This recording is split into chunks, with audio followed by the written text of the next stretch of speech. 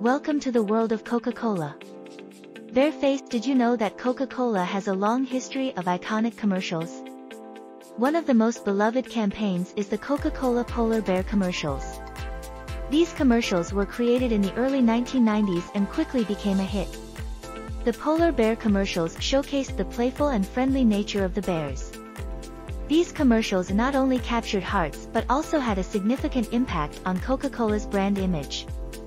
The polar bear commercials created a strong emotional connection with consumers, making Coca-Cola a part of their joyful moments.